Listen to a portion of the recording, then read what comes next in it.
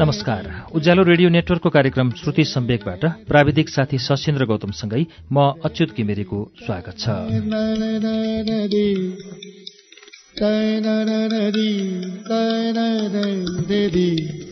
श्रुति सम्वेकको आजको श्रृङ्खलामा पनि हामी निलम कार्की निहारिकाको उपन्यास अर्की आइमाईको वाचन लिएर आइपुगेका छौं। गएको साता हामीले यसको दोस्रो श्रृङ्खला वाचन सुन्यौं। आज यसको तेस्रो श्रृङ्खला वाचन सुनाउँछौ। अर्की आइमाई निलम कार्की निहारिकाको पहिलो डायस्पोरिक उपन्यास हो। यसअघि उहाँका दुई कविता संग्रह र तीन कथा संग्रह प्रकाशित छन्। उहाँको पछिल्लो उपन्यास चिरहरणले पद्मश्री साहित्य पुरस्कार दुई हजार बहत्तर प्राप्त गरेको छ। निलम कार्की निहारिकाको अर्की आइमाईको तेस्रो श्रृङ्खला वाचन अब सुरु गरौं पृष्ठ उनासाठीबाट अर्को वर्ष मैले हिउँ सोरिरहेको बेला इलिनाले नजिकै आएर बिस्तारै भनिन् तरु तिमीसँग कुरा गर्नु छ। उनी अलि लजाएकी थिइन्। लाज सुहाएकै थियो। लाजले लालीमा छाएको अनुहारमा त्यो बेला इलिनाको उमेर पुरै लुकेको थियो। मैले एकछिन स्नो ब्लोअरलाई रोकेर उनलाई हेरिरहेकी थिएँ। पक्कै गोप्य कुरा थियो र मैले विशेष समय निकाल्नु पर्थ्यो।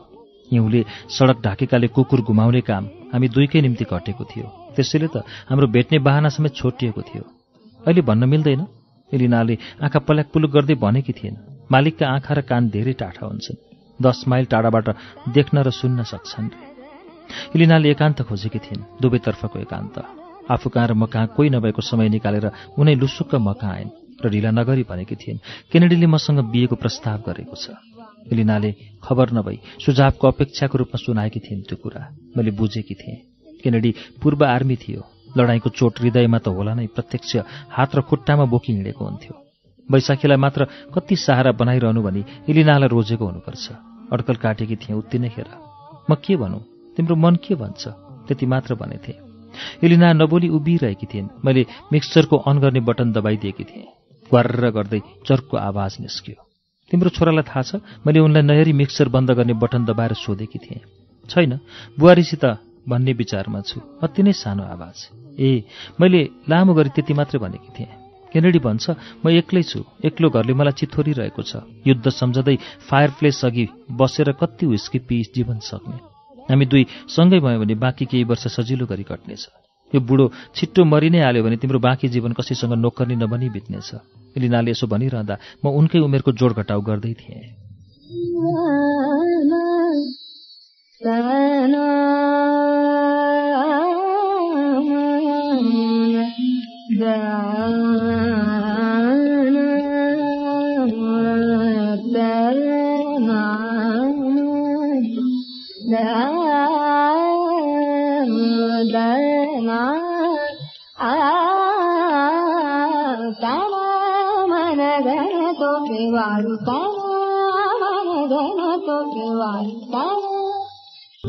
अर्को दिन घर अघिल्तिर हिउँ सोहोर्नेमा म एक्लै थिएँ धेरै बेरपछि स्नो ब्लोअर लिएर आफ्नो घर अघिल्तिर हिउँ सोहोर्न लोरा आफै निस्केकी थिए मेरा आँखा र मनले भने इलिनालाई नै खोजिरहेका थिए सोध्न सकेकी थिइनँ लोरा किन आज आफै निस्केकी इलिना कहाँ छिन् घाम लागेर हिउँ पग्लिएपछि बाटो सुक्खा भएको थियो। कुकुरलाई इभिनिङ वाक गराउने बेला समेत इलिनालाई देखिन भेटिन। केही दिनपछि त्यो घरमा नयाँ केटी देखेँ। आफैलाई विश्वास दिलाएँ अब इलिना त्यहाँ छैनन्। मिस लोराको घरमा आएकी नयाँ केटीसँग भने मेरो कुनै मित्रता भएन। मेट्रानको खैरो गाडी पनि घर नम्बर दुई हजार सात सय एक्काइस अघिल्तिर देखिन छाड्यो।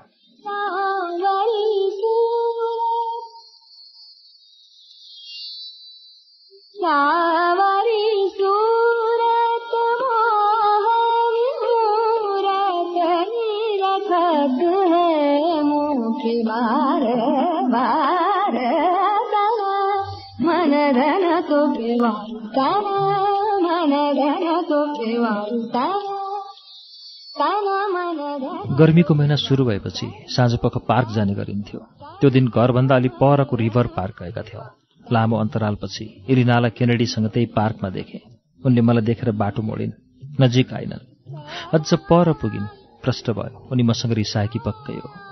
चिसो हावा खान गएका सासूहरूको आँखा छलेर इलिनालाई खोज्दै पार्कका बेन्चहरू चारे इलिना भने रेस्टुरेन्ट छेउको ओह्रालोमा वाटर फाउन्टेनबाट पानी पिउँदै रहेछन्। हाम फालेर हेल्लो भन्दै नजिक गएकी थिएँ अनि कुरा भयो।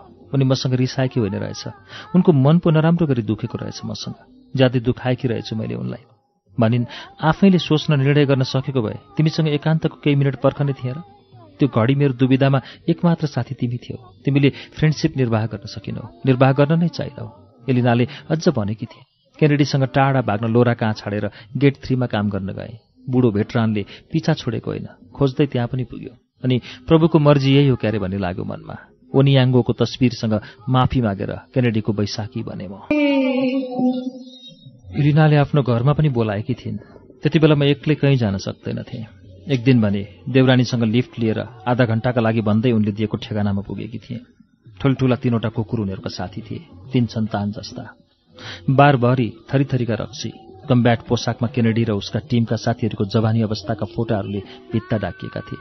म उभिएर हेरिरहेकी थिएँ। छेउमै स्टिलको बैशाखीको सारामा उभिएर केनेडीले भनेका थिए हामी चार अभिन्न थियौँ। अब यो पिक्चरमा भएका मध्ये तीनजना बाँकी छौँ। मित्र रबिन्सन युद्ध मैदानबाट फर्किएन। ब्राउन बचेको त छ तर टाउकामा लागेको चोटको कारण सन्तुलन गुमेको छ। जेलाई कोड्रिप जेलैया भएर ओछ्यानमा क्याथेटरमा बाँचेको छ। यो मान्छेमाथि भने जेससको कृपा रह्यो र पेन किलरको बलले बैशाखीको सहारामा तिम्रो सामु उभिएको छ। केही छिनको बसाइमै मैले सोधेकी थिएँ भियतनाममा किन युद्ध गर्न गएको? केनेडीले पनि सिधा जवाफ दिएका थिए। सरकारले पठायो त्यही हुनाले। तपाईँले मान्छे मार्नु भएको छ? युद्धमा हतियार बोकेर गएको सैनिकले के गर्छ होला त? कतिजना मार्नुभयो होला? आफूले मारेको दुश्मन गरेर बस्ने समय हुन्छ र युद्ध मैदानमा? छोटो बसाइमा कुरा धेरै हुन पाएन। केनेडीसँग भएको थप कुरा थियो। मान्छे मार्न डर लाग्दैन? उनले भनेका थिए त्यो बेला अगाडि उभिने जो कोही मान्छे शत्रु देखिन्छ कि उसलाई आफूले मार्नुपर्छ कि उसको गोलीबाट आफू मर्नुपर्छ। आफूलाई मार्ने शत्रुसँग बस्नका लागि मानवता नै बिर्सेर लड्नु परेन लड्नै पर्छ।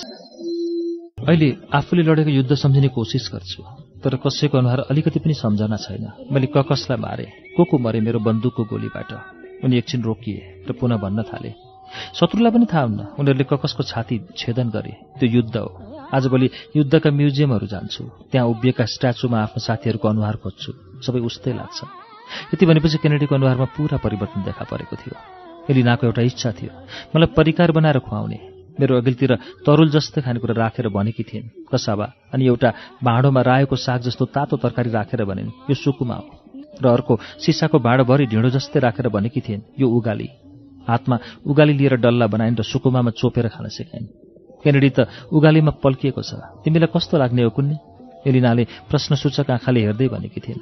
त्यही दिन उनले मलाई भनिन् मेरो पुर्खालाई रेलको बाटो बनाउने काम गर्न ब्रिटिसले गुजरातबाट केन्या लगेको रे। तर मलाई सबैले केन्याली नै भन्छन्। म आफू अझ बसिरहनु मन थियो। देउरानीले घरिघरि घडी हेर्दै ढिलो भएको सङ्केत गर्न लागिसकेकी थिए सापट्टि मागेको समय सकिएकाले जानु थियो।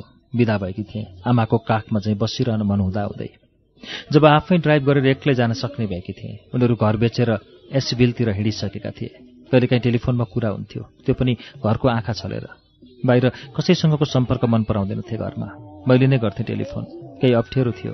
टेलिफोनमा इसाराको भाषा चल्दैनथ्यो शब्दहरू बुनेर भन्न चाहेका मनमा सबै कुरा न उनी नै व्यक्त गर्न सक्थिन् न म नै।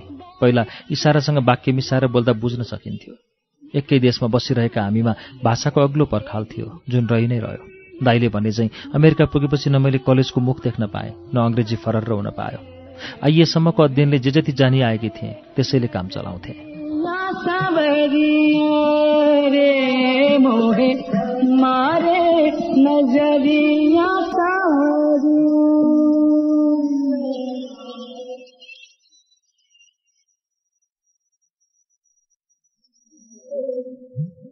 फेरि अर्को एक डिसेम्बर महिना उसै गरी हिउँ झरिरहेको रात थियो। पर्दा उघारेर हिउँको झरी हेरिरहेकी थिएँ। इलिना सम्झनामा फुत्ता आइन् तत्काल लिभिङ रुममा गएर ह्यान्डसेटले इलिनाको नम्बर डायल गरेँ। अवरुद्ध भएको आवाजमा केनेडीले भनेका थिए म एक्लै परेँ। इलिनाले छोडेर गई। फर्किन आउने बाटो हिँडी मैले रिसिभरलाई अझ बलियो गरी समातेकी थिएँ। केनेडीको अश्रु मिश्रित आवाज आइरहेको थियो। आफ्नो छोरासँगको भनाभनमा मेरो पेन किलर पर्कोसेट ओभरडोज खाइदिएछ। एलिनाले त्यसरी सानो मन नगर्नु पर्थ्यो। म थिएँ उसको लागि। उसले मेरो बारे केही सोचिन। आखिरीमा मलाई एक्लै पारी। अब म यो घरमा एक्लै बस्नै सक्दिनँ। नर्सिङ होम जाँदैछु। सरी तिमीलाई मैले उसको फ्युनरलमा बोलाउन सकिनँ। एलिनाको छोराले आफ्नो धर्मअनुसार अन्तिम संस्कार गर्छु भन्यो। आफ्नै आमाको डेथ बडी लिएर गयो। एलिनाको चाहना पनि त्यही थियो। होला कि भन्ने लागेर मैले स्वीकृति दिएँ। त्यहाँनिर त्योभन्दा अगाडि बोल्न सकेनन्। सरी भन्दै टेलिफोन राखिदिए। माथि आएर म झ्यालबाट हेर्न थालेँ। मिस लोराको घर। इलिना हिँड्ने त्यही बाटो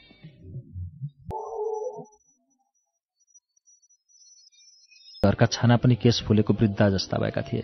मेरो मन हिउँसँग रमिरहन सक्ने अवस्थामा थिएन तर झ्याल भने छाड्न सकिनँ खुट्टा गलिसक्दा पनि। रिक्लाइनरलाई घर नम्बर सत्ताइस एक्काइसतिर फर्काएर आँखा बन्द नगरी बसिरहेकी थिएँ। हिउँ झरी नै रहेको थियो। सुनसान रातमा कोप्टी परेर हिउँ सोरिरहेकी इलिना मेरो आँखामा आइरहेकी थिइन्। मलाई हेर्दै नहेरी साबेलमा उठाएर एकहोरो हिउँ फालिरहेकी थिइन्। वृद्ध इलिना हिउँ खोसिरहेको आवाज समेत आइरहेको थियो मेरो कानसम्म। लाग्थ्यो पहिले चाहिँ दम बढेर रोकिएकी छिन् इलिना साँच्चै ननिदाई रात सकिँदो रहेछ। मेरो बेडको साइड टेबलबाट मलाई उठाउने अलार्म बजेपछि मात्रै थिए क्रिसमस ट्रीलाई। तिमी यहाँ लगाऊ तिम्रो यहाँ। लाइट नबिगार भान्जाले निर्देशन दिइरहेका थिए। वयस्कहरू चिया पिउँदै रमाइलो हेरिरहेका थिए। क्रिसमस ट्री तल गिफ्ट राख्ने काम सुरु भइसकेको थियो। अघिल्ला वर्षमा देवरले स्यान्टागो जस्ता लुगा लगाएर गिफ्ट खोल्ने अनि नाम पढेर बर्ड पाड्ने गर्थे। सबैलाई त्यो दिनको पर्खाइ थियो। केटाकेटी निकै खुसी थिए। उपहार पाउने दिन नजिकिँदै आएकोमा। क्रिसमसको अघिल्लो दिन मेरो नाममा कुरियर आयो। बन्द कागजे बाकस सबैको चासोको विषय बन्यो। कसले पठाएको होला? तरुलाई क्रिसमस गिफ्ट। एक अर्को अनुहार हेरेका थिए। सासूले नै युएस पोस्टलले छाडेको मेरो नामको बाकस खोलेकी थिइन्। बाकसभित्र तत्काल सङ्घारमा झुन्ड्याउने आदेश दिएकी थिइन्। कान्छो छोरालाई सासूले। ब्लेसिङ बल्ब हावाको स्पर्शमा मेरो लागि घरिघरि मिठो सङ्गीत दिने गर्थ्यो। बिर्सिहाल्ने नाम थिएन मेरो लागि इलिनाहा तर पनि ब्लेसिङ बल्बले सम्झाइरहन्थ्यो।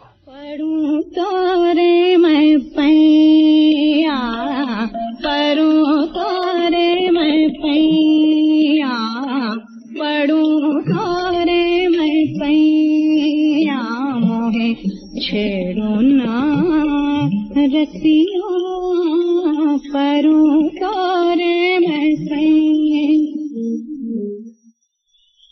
पाहुना आएका थिए।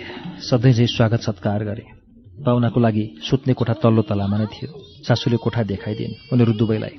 बिहान चिया पिउँदै गर्दा मैले भनेकी थिएँ हजुरको हस्बेन्डलाई ब्रेकफास्टको लागि बोलाउनु न मैया। पाहुना मसँग झोकिएकी थिए। What nonsense he is not my husband he is only my boyfriend अनुहारमा प्रष्ट रिस देखिने गरी अझै बढी रिसाई। मैले दुई चार पटक सरी नभनुन्जेल रिसाइरहे। म मूर्ख नै पो रहेछु सासूले भने चाहिँ पाखे। उनीहरूले अघिल्लो रात एकै थालीमा डिनर खाएको देखेकी थिएँ। एकै कोठामा सुतेका पनि थिए। त्यतिमै उनीहरूलाई पति पत्नी भनिदिने म। म गरिसकेको गल्ती सुधार्न सरी भन्नुभयो के गर्न सक्थेँ र उसँग माफी मागेकी थिएँ नजिक गएर। पाहुनाले अलि नरम भएर भनेकी थिए इट्स ओके तर आइन्दा बुझी नबुझी नबोल्नु होला ठुलो अपराधीलाई आम माफी दिए चाहिँ गरेकी थिए।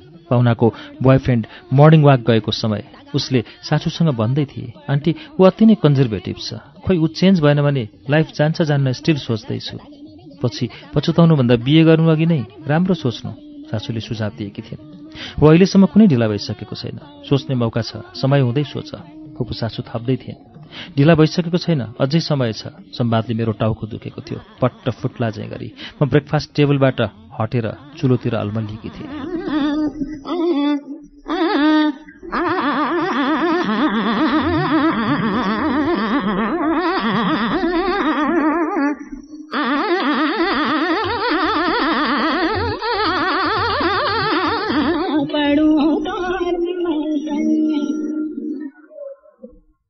स्लो कुकरमा समय सेट गरेर चामल बसाइदिएकी थिएँ। सासूले रेफ्रिजरेटरमा राखेको बासी खाना रुच्दैनथ्यो भनेकी थिइन् सुरुमै मलाई बासी खानासँग एलर्जी हुन्छ।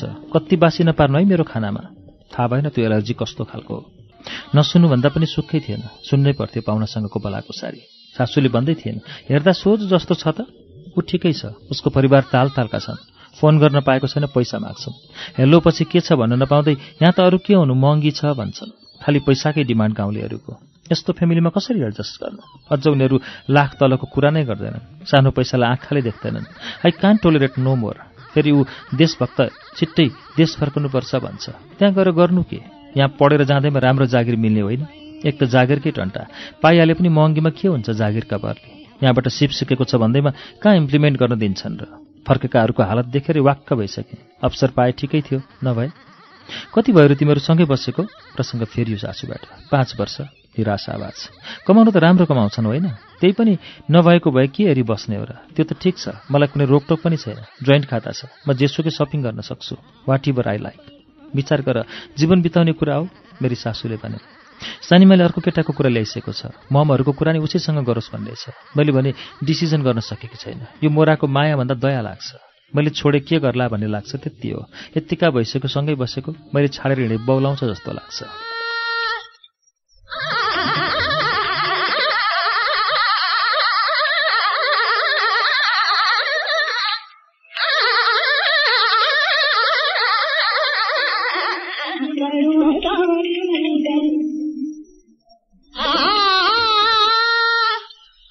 बीच माया हुनुपर्छ। दयामा टेकेको सम्बन्ध कति दिन टेक्छ र?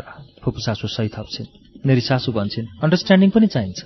I will think about it seriously सोध्छु। डोरबेल बजेकाले उनीहरूको वार्तालापमा पूर्ण विराम लागेको थियो। केटा पाहुना मर्निङ वाकबाट फर्किएको थियो।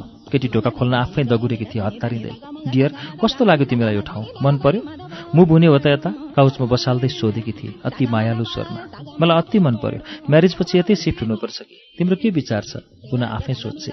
फुपू सासु र केटी पाहुनाको आँखा एकै ठाउँ भएका थिए। उनीहरूले थाहै नपाई मेरो हेराइ समेत थपिएको थियो। तिनजनाकै ओठसँगै थोरै हाँसेको थियो।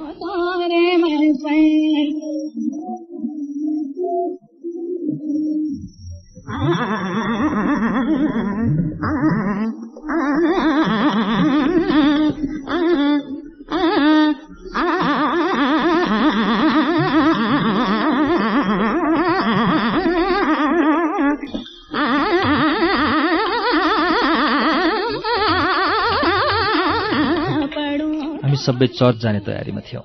सिकामोरी ड्राइभको स्टोरमा काम गर्ने कृष्णको बिहे हुँदै थियो। मेरी सासु र कृष्णले अघिल्लो दिन दुईटा औँठी किनेर ल्याएका थिए। मेरो निम्ति ब चर्चको बिहे एकदमै नौलो थियो। यसै त नौलो। त्यसमाथि बिहे हेर्न मन अलि नै बढी उत्ताउलो र उत्सुक बनेको हुन्छ। छिटो छिटो काम सिद्ध्याउन लागिरहेकी हुन्छु। बेहुला हुने कृष्णसहित सेभेन सिट क्षमता भएको गाडीमा सिट खाली नराखी आइपुगेका हुन्छन्।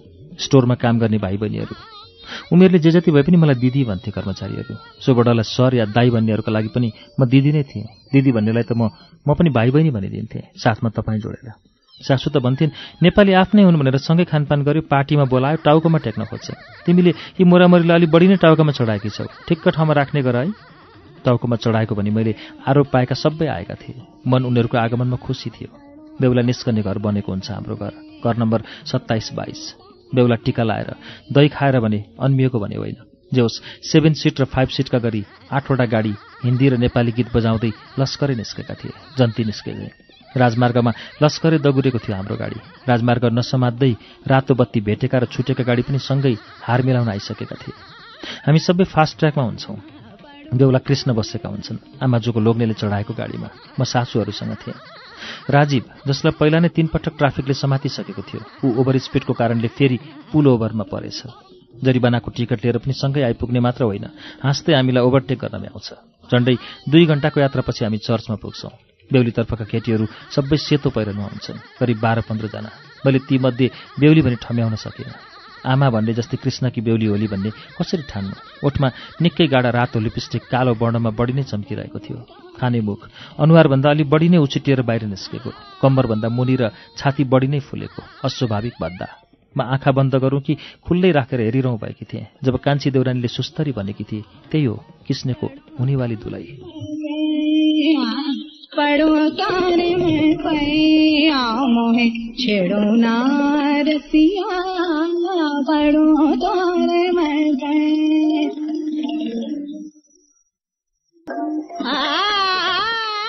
ओटमुख छोपेर हाँसेकी थिए देउरानी। साथ दिएकी थिइन् सासूले समेत। म भने यसै वाल्ला परि उभिरहे दुवैले जीवनभर पति पत्नीको दायित्व निर्वाह गर्नेछौँ भन्दै प्रण लिए दुःख सुख स्वस्थ अस्वस्थ जुनसुकै अवस्था आए पनि जीवनभर प्रेम गरिरहनेछु भन्यो कृष्णले। त्यसैलाई दोहोऱ्याई बेहुलीले पास्चरको सोधाइमा आइडु आइडु भन्दै कसम खाइरहे शपथ लिए। आशीर्वाद पाएको औँठी साटिएका आपसमा। प्रेम र प्रेमप्रतिको वफादारीको प्रतीक औँठी दुवैको औँलामा चम्कियो। पालो रहेछ चुम्बनको मुखैमा खानु रहेछ चुम्बन।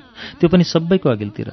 सबैले आँखा झिमिक्क नगरी चुम्बन दृश्य हेरिरहेका थिए। ताली बजाउँदै। मलाई भने अति नै असहज भएको थियो। सुवर्णजीलाई समेत हेर्न सकिरहेकी थिएन।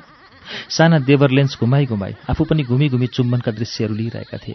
रातो लिपस्टिक कृष्णको अनुहारमा लपक्कै सरेको थियो। अझ हामीतिर फर्किएर निच्चा हाँस्दाको दृश्य भुलिन सक्नुको थियो। तनमन लगाएर सबै क्रियाकलापको भिडियो लिइरहेका थिए सुवर्णजी आफैले। बिहे सम्पन्न भयो। ती दुई पति पत्नीका रूपमा दर्ता हुन्छन्। जिससको शालिक अघिल्तिर जन्मभर साथ दिने बाचा कसमको साथ। चर्चबाट बाह्र माइल परको चाइनिज बफेमा गएर खाजा खाइन्छ। त्यहाँ पुगेपछि थाहा पाएकी थिएँ बेहुलीसँग आएका उजस्ते अनुहार र ओठ भएका तीनवटी उसैका छोरी हुन् रे।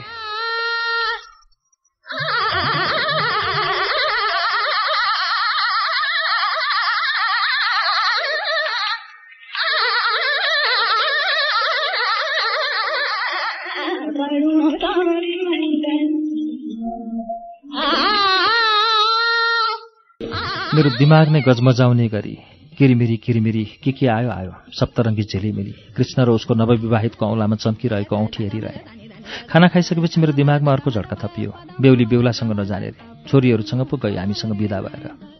जानु अघि सुवर्णजी र उनका पार्टनर जगन्नाथसँग भलाकुसारी गरी अनि दुवैलाई अङ्कमाल गरी दुवैको गाला छेउमा चुम्बन पनि गरी आफ्नो बेहुलालाई पहिला बाई भने फेरि रोकिएर अङ्कमाल नै गरी तर सुवर्णजी र जगन्नाथको गालामा चाहिँ मायाको डोब छाडिन। हात हल्लाउँदै थिए उसले हामीलाई तर उसकी छोरीले गाडी रिभर्स गरी घुमाएर दगुराइहाले। मेरो मस्तिष्कमा भने प्रश्नका अग्ला खात थिए बाटो सोचेर नै कट्यो आफ्नै मस्तिष्कको प्रश्न अनि आफ्नै मनको उत्तरको जुहारीमा साँझ सुवर्णजीले घरमा आफ्नो कर्मचारीको बिहेको खुसीमा जमघट राखे। त्यसको लागि अर्डर दिए मलाई। खाने नाच्ने रमाउने बाहना जुरे सबैलाई। सबैले कृष्णलाई बधाई दिए। फेरि निच्चा हाँस्दै एक्लै बधाई थापिरह्यो उसले। बधाईसँगै कार्य सफल होस् भनी शुभकामना पो दिए। मलाई यसै पनि हर गतिविधि घटना छर्लङ्ग हुन समय लाग्ने नै हो। त्यो बिहे बारेको यथार्थ पनि पछि नै थाहा लाग्यो।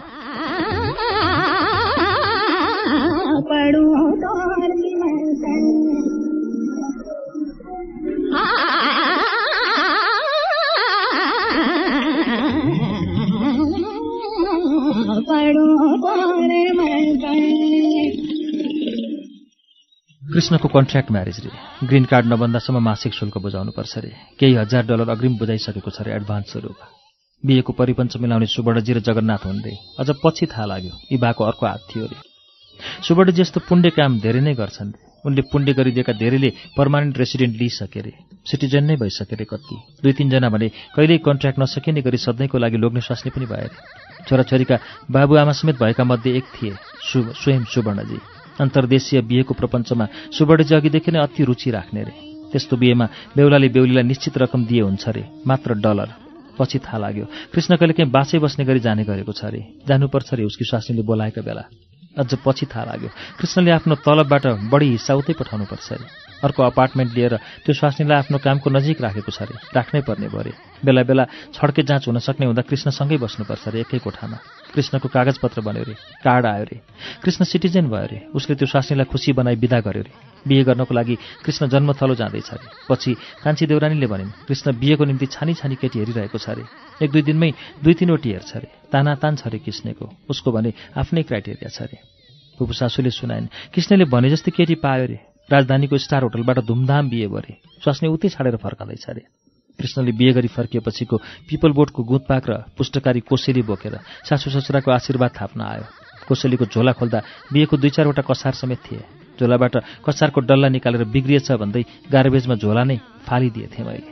अर्को पालि फेरि उही कृष्णको बिहेको खुसीमा भोजको आयोजना भयो। मैले उसै गरी परिकारहरू बनाएँ।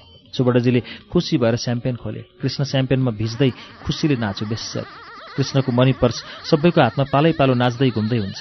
कृष्णकी नवविवाहित कलिली स्वास्नीको तस्विर हेर्ने पालो मनेर आउँदै गर्दा म उठेर झन् पर सरिदिने गरेँ तर मेरो हातमा परि छाड्यो। पर्सको एक छेउमा पहिलो बेहुलीबाट पाएको ग्रिन कार्ड त अर्कोतिर नववधुको सुन्दर तस्विर मुस्कुराएको थियो।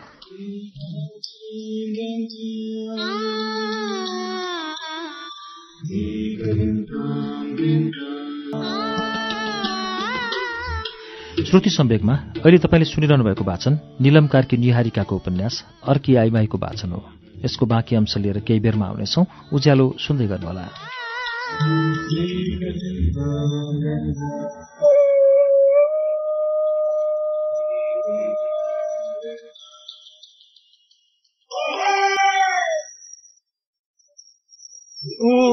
उजालो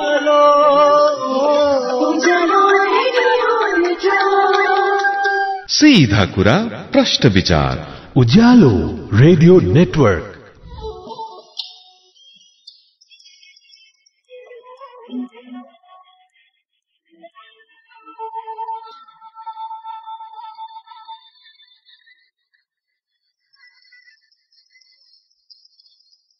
कार्यक्रम श्रुति सम्वेकमा तपाईँलाई फेरि स्वागत छ।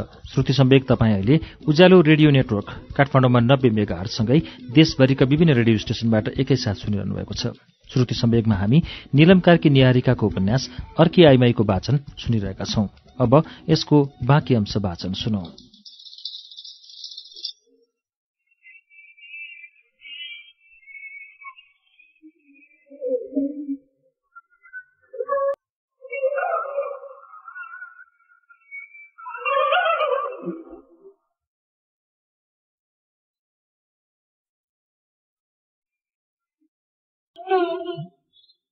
अचम्मका लोगा लागेका मान्छेहरू बजारमा देखिन थालेका थिए। को के बन्ने के बनेर स्कुल जाने सल्लाह हुन्थ्यो। साँझ खाने टेबलमा केटाकेटी बीच।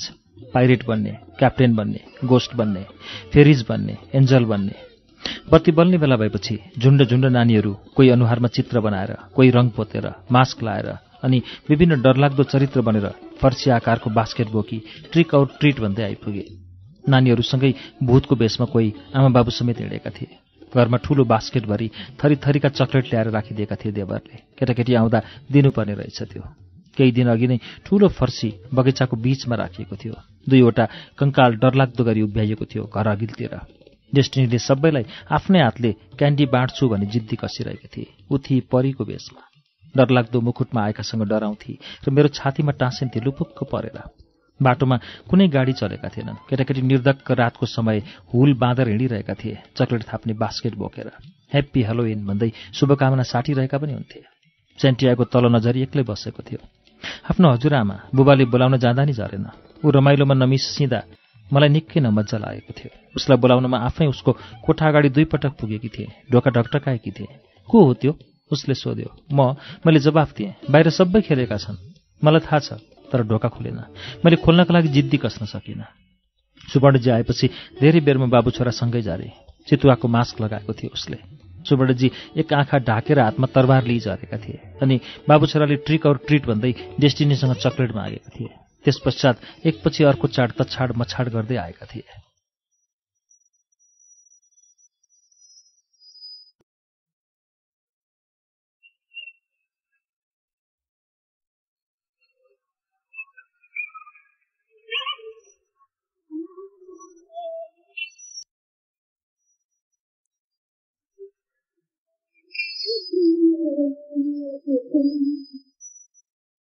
अक्टोबरको हलोविन सकिँदा नसकिँदै नोभेम्बरको थ्याङ्क्स गिभिङ आइसकेको थियो। थ्याङ्क्स गिभिङको किनमेलमा म पनि गएको थिएँ। दस पाउन्डको टर्की आयो घरमा। मैले नै जोखेर लिआएको देवरानीले सिङ्गै टर्की ओभनमा हाल्ने तयारी गरिन्। टोकरीभरि ब्लुबेरी र सनफ्लावरको बिहा पनि ल्याइएको थियो। छिमेकी लोराले ह्याप्पी थ्याङ्क्स गिभिङ भन्दै आफैले बनाएको तातै कुकी ट्रेभरि ल्याइदिएकी थिइन्। त्यसो त आफू बाल्यकालदेखि सबैभन्दा रमाउने चाड दसैँ सेप्टेम्बरमा आएर गइ पनि सकेको थियो। अक्टोबरमा परेको भाइटिकाले दाजुभाइ अनि देउसी र भैली भेट्न मन उडाएर जन्मभूमि पुर्याएको थियो। न्युयोर्कबाट नन्दा आएकी थिइन् मामा ससुरा सियाटलबाट सेन्टियाको दाजुबहिनीले पनि लाएका थिए भाइटिका। चाडमा रम्न नसक्ने म मात्र थिइनँ स्पष्ट देखेकी थिएँ। घरका अरू झैँ सेन्टियाको कहिल्यै रमाएन। जब चाडहरू नजिकिँदै जान्थे ऊ बढी नै समय ढोका थोएर बस्ने गर्थ्यो। होइन भने घोरिएर बस्थ्यो निन्याउरो अनुहार लगाएर।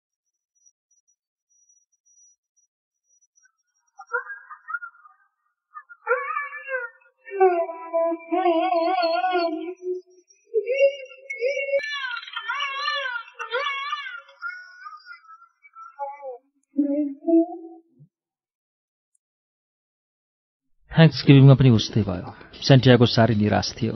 टेबलमा सिङ्गो टर्की सजिसकेको थियो। सेन्टियागोको उदासीले गर्दा घर खुसी हुन सकेको थिएन। धेरै बेर सुवर्णज्यूसँग ढोका थुनी बसे अनि ऊ आँखामा आँसु लुकाउँदै अलिकति हाँस्दै सामेल हुन आयो। उसको आँसु हाँसोमै भए पनि मैले आफ्नो खुसी खोजेथेँ डिसेम्बर महिनाको एक बिहान ड्राइभवे र बाटोमा पार्किङ भएका सबै गाडी हिउँ ओढेर कक्रिरहेका थिए। हिउँ अझ थामिन नमानी लगातार ओर्लिनै रहेको थियो धरतीमा। विदायको बेला अनि हिउँ वर्षा। सबैका लागि समय रमणीय हुने नै भयो। केटाकेटीहरू न्यानो ज्याकेट स्कार्फ टोपी र बुट अनि हातमा पन्जा लाएर घर अगाडि निस्केका थिए। उनीहरूले मुठीभर हिउँको गोल गोल डल्ला बनाए हानाहान खेले ठुलो स्नोम्यान बनाए। सेन्टियागोले रेफ्रिजरेटरबाट लगेको गाजर स्नोम्यानको चुच्चो नाक बनाउनको निम्ति रहेछ। उसले गाजर लानु अगाडि भान्सामा मलाई नम्र भएर सोधेको थियो कि म एउटा क्यारेट लिन सक्छु? मैले हत्तपत्त गाजर रहेको पोलिथिनको झोला उसको अगाडि राखिदिएको थिएँ। उसले एउटा गाजर लिएपछि मलाई धन्यवाद भनेको थियो। सेन्टियाको मसँग उति बोल्दैनथ्यो बोल्यो नै भने अति औपचारिक भएर मलाई पनि उसँग बोल्न अप्ठ्यारो नै लाग्ने हो। तर ऊ बोल्यो भने म भित्र खुसीको उचाइ चुलिने गर्थ्यो। के गरौँ कसो गरौँ उसलाई भन्नु जस्तो हुन्थ्यो। म उसँग धेरै बोलोस् प्रश्न सोधोस् भन्ने चाहन्थे र कहिलेकाहीँ लन्ड्रीपछि मोजा या युनिफर्म अर्कै ड्रयरमा राखिदिन्थे लुकाइदिन्थे। ऊ भने बरु पहिलो दिनकै मोजा युनिफर्मले काम चलाउँथ्यो तर मसँग सोध्दैनथ्यो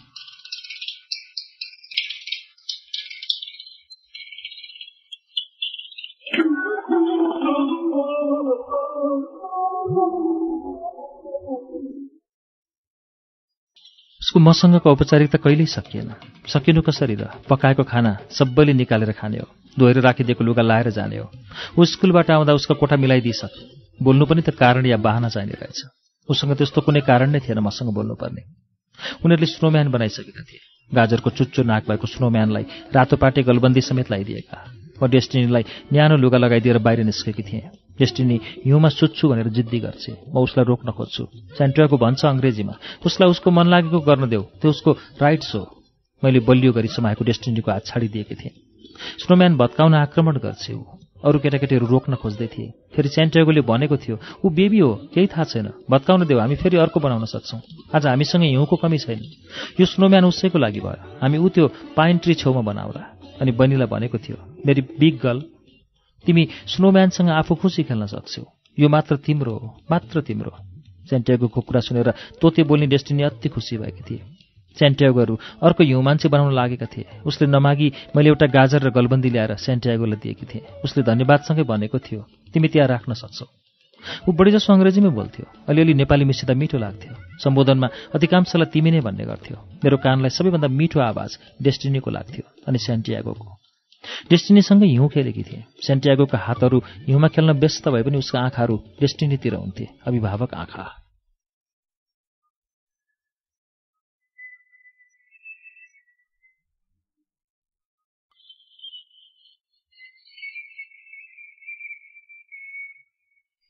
डेस्टिनीले कुन बेला पन्जा खोलिसकेछ? मैले मेसो पाइनछु सेन्टियागो हिउँमा लड्दै दगुरेर आयो र हत्तपत्त बहिनीको पन्जा लगाइदियो। बी केयरफुल फ्रोस्ट वाइट हुन सक्छ। त्यसो भनिरहँदा उसको आँखा मेरा पन्जा बिनाका हातमा समेत परेको थियो। के तिमीसँग ग्लोभ्स छैन र? उसले बिस्तारै सोधेको थियो म केही बोलिनँ। ऊ सरासर भित्र गयो। फर्कँदा उसको लिएर आएको एक जोडी बाक्लो पन्जा मलाई दियो। मैले हातमा लिएर प्रश्नसूचक आँखाले हेरेकी थिएँ। तिमी प्रयोग गर्न सक्छौ मन लाग्छ भने। सेन्टियागो यति भनेर पुनः स्नोम्यानतिरै गएको थियो। छाती गरुङ्गो भयो। मातृप्रेम टुसाएको आवाजमा झन्डै हृदय भक्कानिएको। अर्को स्नोम्यान पूर्ण भएपछि देउरानीको छोरा खुसी हुँदै दगुर्दै आएर आफ्नी आमासँग टाँसिएको थियो। ऊ खुसी हुनासाथ आफ्नै आमालाई समाउँथ्यो। आमाको गाला चुम्ने गर्थ्यो र देउरानी छोराको निधारमा उसै गरी चुम्बन टाँसिदिन्थे। सेन्टियाको सबै देखेर नदेखेको बानामा अर्को स्नोम्यानलाई अझ आकार दिन व्यस्त थियो। केही बेरमा मेरो नजिक आएर बहिनीलाई आफ्नो काखमा राख्यो। देउरानीले छोरालाई गरे चाहिँ आफ्नी बहिनीको निधारमै माया गरेको थियो। बहिनीका मसिना औला समाएर नयाँ स्नोम्यान देखाउन लगेको थियो। त्यो दिन अरू ठुला समेत मिसिएर हिउँसँग खेल्न र फोटो खिच्न समय खर्चिएका थिए। वर्षको पहिलो हिउँको स्वागतमा सबैले रमाइलो गरे। आफूले चाहिँ बुवा जस्तो हिउँको पत्रमा डेस्टिनीको पछि पछि दगुरेर नै खुसी बटुलेकी थिए। हामी दुब्बै हिउँमा लडेका थियौँ। मैले नै लडाएर कसैले नदेख्ने गरी डेस्टिनीको निधारमै एक माया टाँसिदिएकी थिएँ। देउरानीले छोरालाई गरे चाहिँ। सेन्टियागोले सबै देखेर नदेखेको बानामा हिउँ मान्छेसँग आफूलाई पुनः व्यस्त बनाएको थियो।